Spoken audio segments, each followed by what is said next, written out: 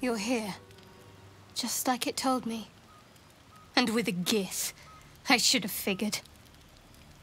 It took me so long to find you. Quiet!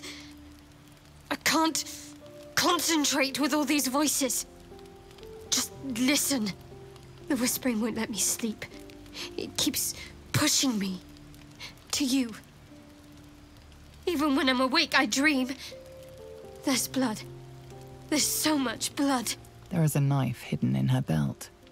Her fingers twitch towards the hilt, ready to draw the blade. They've been in my head ever since. It doesn't matter. They brought me here. I keep thinking about the knife going deep. It's the only thing they want me to see. And I think they'll stop once I deal with you.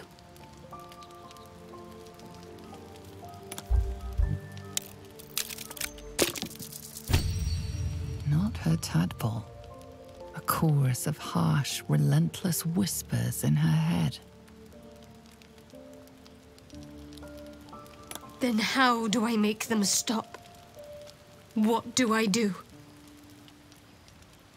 Stay.